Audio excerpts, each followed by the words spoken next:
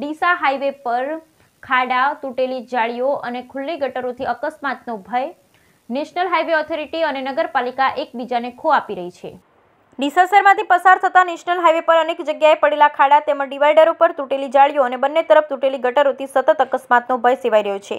ગટર રિપેરિંગ કરવા બાબતે ડીસા નગરપાલિકા અને હાઈવે ઓથોરિટી એકબીજાને ખો આપી રહી છે. દિલ્હીથી કંડલાને જોડતો મુખ્ય નેશનલ હાઈવે પર ડીસા શહેરમાંથી પસાર થતા રસ્તા પર ડિવાઈડર વચ્ચે તેમજ સર્વિસ રોડ આજુબાજુ લગાવેલ જાળીઓ અનેક ઠેકાણેથી તૂટી ગઈ છે. તેમજ જાળીના સળિયા ભયજનક રીતે રસ્તાના ભાગે આવી ગયા હોવાથી ઘણી વખત વાહનોના અકસ્માત સર્જાય છે. આ ઉપરાંત નેશનલ હાઈવે પર આખલા આખોલ ચોકડી પાસે તેમજ થરાદ હાઈવે પર, ધાનેરા હાઈવે પર અનેક જગ્યાએ મોટા મોટા ખાડા પડી ગયા છે. તાજેતરમાં વરસાદ બંધ રહેતા હાઈવે ઓથોરિટી દ્વારા ખાડા પૂરવા વેટ મિસ્ટનો મોલ નાખાયો હતો, પરંતુ તે પણ ઝાંઝુ ન ટકતા ફરીથી મોટા ખાડા પડી ગયા છે. જેના કારણે નાના વાહનો તો રીતસર ખાડામાં પટકાઈ રહ્યા છે, જ્યારે મોટા વાહન ચાલકો ખૂબ જ પરેશાન થઈ રહ્યા છે. આ ઉપરાંત નેશનલ હાઈવે પર બંને બાજુ પાણી નિકાલ માટે ગટરો પરનો સ્લેબ અનેક જગ્યાએ તૂટી ગયા, જેથી વાહનો ગટરમાં પડવાનું પણ અનેક બનાવ બન્યા છે. જેના કારણે કેટલાય લોકોને ઈજા પણ થઈ. ગટરો રિપેરિંગ કરવા બાબતે નગરપાલિકા તેમજ નેશનલ હાઈવે ઓથોરિટી એકબીજાને ખો આપી રહ્યા છે.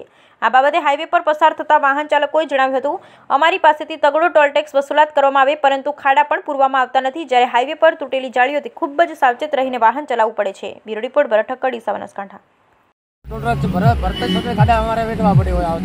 તમારી ગાડીને નુકસાન થયું ખરું? નુકસાન થયું બે વખત પટા તૂટ્યા ત્રણ વખત ટાયર ફૂટ્યા.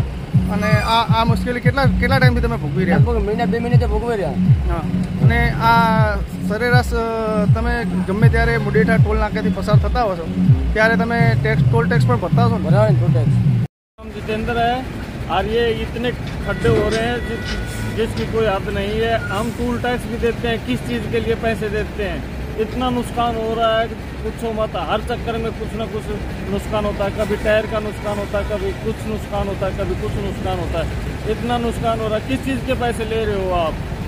टूल टैक्स भी दे रहे हैं तो फिर आप किस चीज़ के ले रहे हैं? इन खड्डों को तो भर सकते हो। खड्डा तो ठीक करवा सकते हो ना।